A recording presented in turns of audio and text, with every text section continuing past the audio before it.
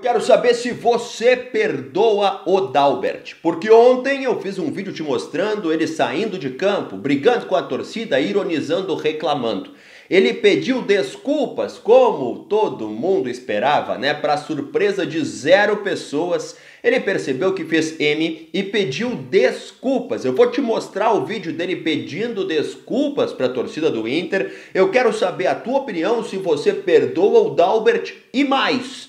Tem lateral do Inter recebendo sondagens do futebol internacional. Espera a vinheta e vem comigo.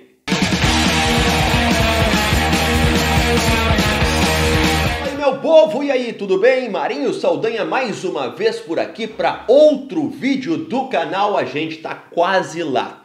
Falta menos de 200. Quando você assistir esse vídeo, tomara que falte perto de 100 para atingir a meta de 10 mil inscritos, que é o nosso grande objetivo em 2023. Ano que vem o canal fecha dois anos. Então me ajuda, divulga esse nosso conteúdo, manda em teus grupos de Colorado.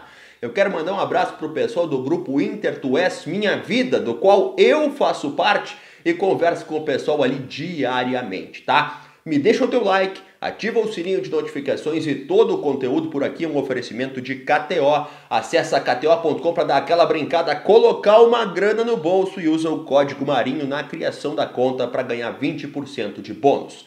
Bora falar de lateral esquerdo, de Dalbert e de Tauan Lara, que tem sondagens do futebol internacional.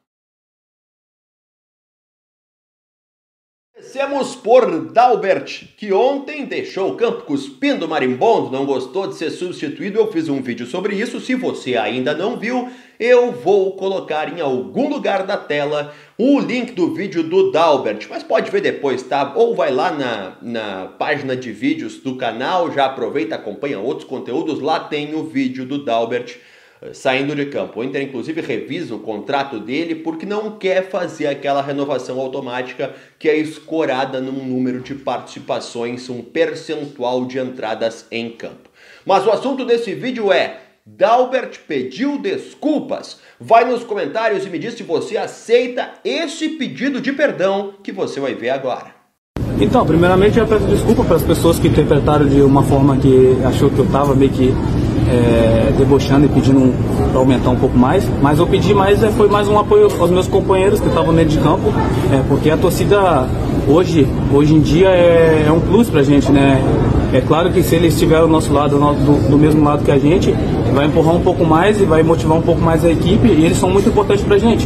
E foi isso que, que eu tentei fazer ali. E as pessoas interpretaram de uma forma totalmente diferente. Mas é, é isso, cara. É... Então, Dalbert deve ou não receber uma nova oportunidade? Esse assunto está sendo colocado em segundo plano porque tem outras situações mais importantes antes disso. Em campo é fato que ele não tem jogado nada bem, tomara que o René volte logo.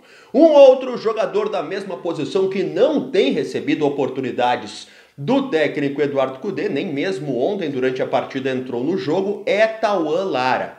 Eu já te informei aqui que o Tauan está na lista de jogadores que devem ser emprestados na próxima temporada, a exemplo do Estevão e do Lucas Ramos, jogadores que não devem permanecer, devem ganhar rodagem, ganhar experiência em outras equipes.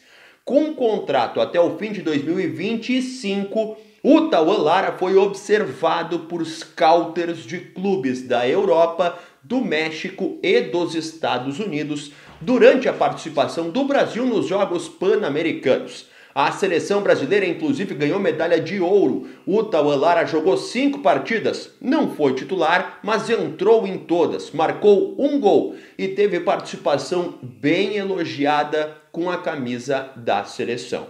O Tauan Lara ainda não tem ofertas oficiais para deixar o Internacional. Por que, que essa situação não vai ser definida agora?